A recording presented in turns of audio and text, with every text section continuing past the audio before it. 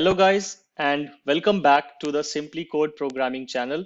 This is Vikesh and let's get started with today's topic which is about enhanced for loops in Java. So we covered about the for loops and the structure of it and the control flow of it in the previous session. And today we are just going to talk about another way of writing for loops which is a bit even more smarter than the traditional for loops which we call as enhanced for loops. We generally use the enhanced for loops for scenarios whenever we have to iterate over a collection of items or an array of items. Those are the most popular and common use cases of using enhanced for loop. And this for loop is even simpler. Like I said, it's even simpler than uh, writing a classic for loop. And the syntax is simply like this. You again start with for, put the standard brackets, and then let's start from the rightmost because then I will be able to explain it better.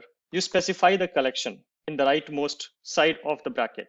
The collection can be an array, it can be a list, it can be a map. So whatever different kind of collections which are available in Java, and we are going to cover collections in detail. So don't worry if you don't understand what are lists and what are maps and what are sets. We will go into detail of each of these one by one in the upcoming sessions. But the idea is that you put the collection to the rightmost, then you put a colon, and then you put a representation of the member of this collection. So for example, here this numbers is basically an int array. So this int array means that this array can only hold integer numbers. And that's why we write int here because this array is only having integers. Then we put any placeholder variable name. This can be anything. You can even write it as i if you want to. You can write it as anything, any variable name which you want to write. This is a temporary variable. So now this code is going to execute in a manner that it is going to iterate over this array one by one, starting from the first element, going till the last element. You don't need to write any initialization code.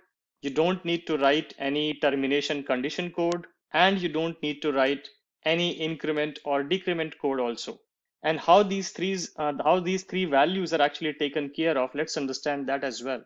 So when we talk about the initialization as i have put an array here a data structure here the automatic initialization index is going to be the first index. So when we do the iteration when this for loop is going to execute it is automatically going to initialize a temporary variable with the value at the first index, which is the index zero.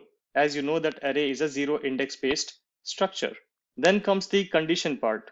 So the condition evaluation is going to be again based on the size of the array or the size of the data structure which you are using. It is going to start from the first index, which is the index zero, and it is going to iterate till the array's last element is reached. So technically start from the index zero and go till the last element. That's your evaluation condition. And then comes the increment part.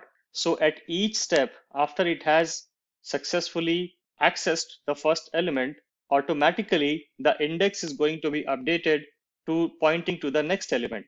So if it starts from here, once the first step iteration is complete, i is automatically going to be incremented to index 1 and then it will basically this i will be holding 2 then in the next iteration the same i is going to be holding 3 similarly i will keep holding the new value of the collection item one by one till the collection item's last element is reached. So this is the basic premise that you can write a collection variable here and keep iterating over it. And this whatever variable uh, you write here will hold the current item's value one by one. So in the first step, this i is going to hold one. In the second step, this i is going to hold two. In the third step, this i is going to hold three and so on and so forth. That's the basic idea. So now let's run this program to see what kind of output do we get. So you can see we basically are able to print all the elements of the array. And that's probably one of the most popular usage as well, that if you want to just print all the elements or access all the elements of a array or a collection one by one, then just use enhanced for loop. So you can see at each step, it is printing the value of i. And the value of i is basically the subsequent elements of the array. That's the whole idea with enhanced for loop. Under the hoods, if you talk about how does it work under the hood, it is actually using the classic for loop construct itself. But for developers, it is making it easier because it knows that if you are iterating over a collection, you will start with the first element and you will go till the last element. So it knows the initialization value, the termination condition, and it also knows the increment condition. And that's the reason you will use enhanced for loops in Java for iterating over collections. Now there is another advanced concept in the for loops, which is around nested loops, but I think it will it will be too much complicated if I talk about this in this particular session itself. So we are going to restrict this session to only discuss about enhanced for loops. And in the next session, we will be talking about the nested for loops concept, and we will be looking at an example of how to implement nested for loops and when do we use nested for loops. If you like this video, a thumbs up will be massively appreciated and do not forget to subscribe to SimpliCode for more programming related videos.